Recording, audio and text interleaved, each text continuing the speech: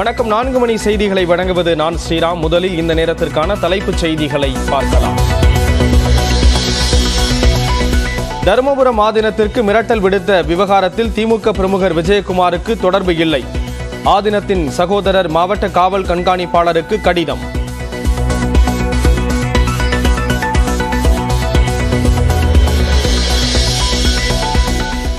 விவசாயிகளுக்கு இருபத்து நான்காயிரத்து நானூற்று இருபது கோடி ரூபாய் உரமானியம் வழங்க மத்திய அமைச்சரவை ஒப்புதல். இரண்டாயிரத்து இருபத்தைந்தாம் ஆண்டுக்குள் அனைத்து மத்திய அரசு அலுவலகங்களிலும் சூரிய மின் உற்பத்தி மேற்கூரை அமைக்கப்படும் என்றும் அறிவிப்பு.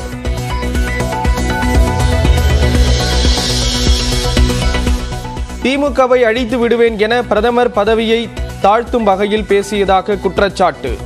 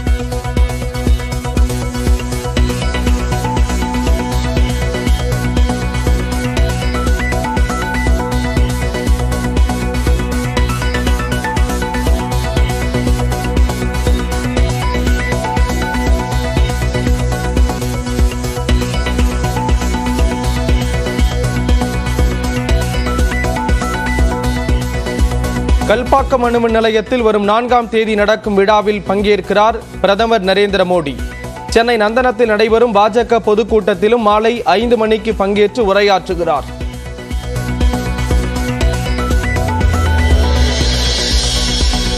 தமிழ்நாட்டில் கூட்டணி கட்சிகளுடன் பேச்சு நடத்த குழுவை அமைத்தது பாஜக. எல் முருகன் பொன் ராதாகிருஷ்ணன் வானதி சீனிவாசன் உள்ளிட்ட ஏழு பேர் கொண்ட குழுவை அமைத்தார் அண்ணாமலை.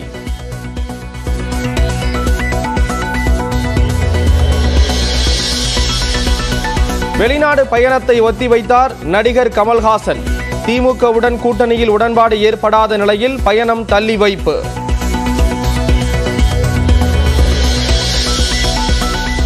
திமுக கூட்டணியில் இந்திய கம்யூனிஸ்ட் கட்சிக்கு இரண்டு தொகுதிகள் ஒதுக்கீடு. மார்க்சிஸ்ட் கம்யூனிஸ்ட் கட்சிக்கும் கடந்த தேர்தலை போல இரு தொகுதிகள் ஒதுக்கீடு.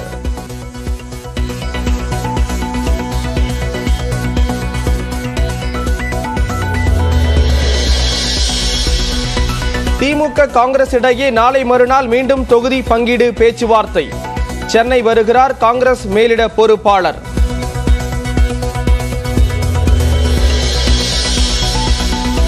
திமுக கூட்டணியில் காங்கிரசுக்கு ஏற்பட்ட மனக்கசப்பை சரி செய்யும் மருந்து அதிமுகவிடம் உள்ளது. முன்னாள் அமைச்சர் வைகை செல்வன் சேலத்தில் பேட்டி. திராவிட முன்னேற்ற கழகத்தின் கூட்டணிக்கும் உள்ள கசப்புகள் வெளிப்பட்டிருக்கிறது. அந்த கசப்புகளுக்குள்ள நல்ல மருந்து அண்ணா திராவிட முன்னேற்ற கழகத்திடம் இருக்கிறது என்று காங்கிரஸ் நம்பினால் விரைவில் நல்ல பதில் கிடைக்கும். கூட்டணி குறித்து பாஜகவுடன் பேசி வரும் நிலையில் ஓரிரு நாட்களில் நல்ல முடிவு என ஓ பன்னீர்செல்வம் பேட்டி.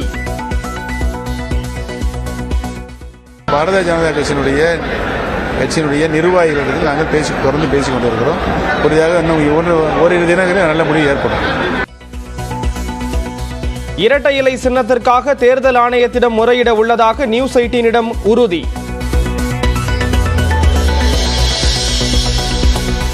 தங்கள் கூட்டணிக்கு அதிமுக வரும் என இன்னமும் பாஜக நம்பிக்கையுடன் காத்திருப்பதால் ஜெயலலிதாவை பாராட்டுகிறார் பிரதமர். நியூஸ் எயிட்டின் வணக்கம் தமிழ்நாடு நிகழ்ச்சியில் திமுக எம்பி கனிமொழி சோமு விமர்சனம். ஒரு ரீஜனல் பார்ட்டி மேல குதிரை சவாரி செய்ய வேண்டும். அதற்காக தான் இன்னைக்கு வந்து அப்படியே போற்றி புகழுறாங்க. ஏன் இதே வந்துட்டு இபிஎஸ் வெளில போனப்போ அமித்ஷா என்ன சொன்னாரு? அதை பத்திலாம் நாங்கள் எதுவும் கவலைப்படல. ஆனா இன்னைக்கு விழுது விழுது எங்க கதவு திறந்திருக்கு ஜன்னல் திறந்திருக்கு பின்பக்கம் வாசல் திறந்திருக்கு ஏடிஎம்கே எப்போ வேணா உள்ள வரலான்றாங்க. தமிழ்நாட்டிற்கு நாளை பதினைந்து கம்பெனி துணை ராணுவம் வரவுள்ளதாக தலைமை தேர்தல் அதிகாரி சத்யபிரதா சாஹூ பேட்டி. மக்களவை தேர்தல் பாதுகாப்பு பணிக்காக இருநூறு கம்பெனி துணை ராணுவம் கேட்டுள்ளதாக தகவல்.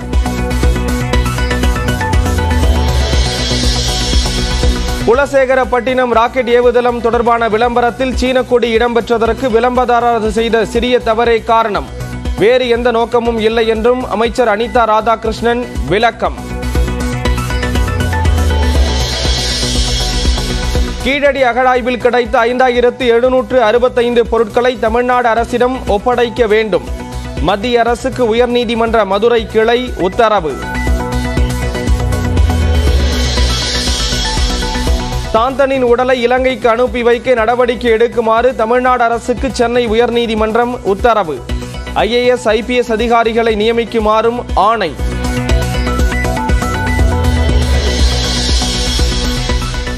மன்சூர் அலிகானுக்கு விதித்த ஒரு லட்சம் ரூபாய் அபராதம் ரத்து. சென்னை உயர்நீதிமன்றம் உத்தரவு.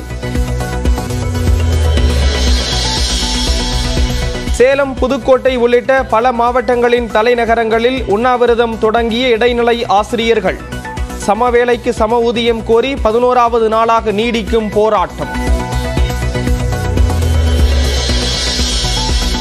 கேரளாவின் மூன்று பல்கலைக்கழக திருத்த சட்ட மசோதாக்களை நிறுத்தி வைத்தார் குடியரசுத் தலைவர்.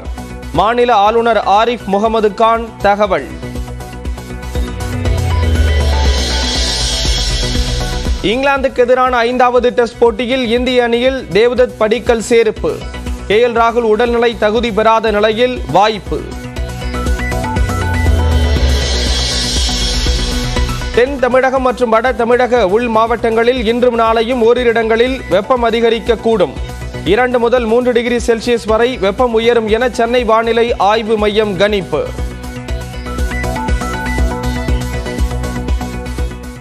பிரதமரின் முகத்தில் தோல்வி பயம் தெரிவதாகவும் அதனால் தரம் தாழ்ந்தவர் விமர்சிப்பதாகவும் முதலமைச்சர் மு க ஸ்டாலின் சாடியிருக்கிறார். தொண்டர்களுக்கு கடிதம் எழுதியுள்ள முதலமைச்சர் மு ஸ்டாலின் அதில் பிரதமர் மோடி வைத்த குற்றச்சாட்டுகளுக்கு பதில் அளித்துள்ளார். மத்திய அரசின் எந்தெந்த திட்டங்களை தமிழ்நாடு அரசு தடுத்தது என்ற பட்டியலை கூறாமல் பொதுப்படையாக பிரதமர் குற்றம் சாட்டுவதாக கூறியுள்ளார். திமுகவை பற்றியும் திமுக அரசை பற்றியும் பிரதமர் மோடி அவதூறுகளை அள்ளி வீசியிருப்பதாகவும் திமுகவை ஒழித்து விடுவேன் என தரம் தாழ்ந்து பிரதமர் பேசியிருப்பதாகவும் மு ஸ்டாலின் விமர்சித்துள்ளார். தோல்வி பயம் பிரதமரின் முகத்தில் தெரிவதாகவும் அந்த கோபத்தை தான் அவர் காட்டுவதாகவும் குறிப்பிட்டுள்ள ஸ்டாலின் அதனால்தான் பிரதமர் தமிழ்நாட்டுக்கு அடிக்கடி வர தொடங்கியுள்ளார் எனவும் தெரிவித்திருக்கிறார். நிதியும் தராமல் கடன் வாங்கவும் விடாமல் இரக்கமற்ற ஆட்சியை பிரதமர் மோடி நடத்தி வருவதாகவும் திமுகவை குறை சொல்ல அவருக்கு எந்த தகுதியும் இல்லை எனவும் கடிதத்தில் முதலமைச்சர் சாடியிருக்கிறார்.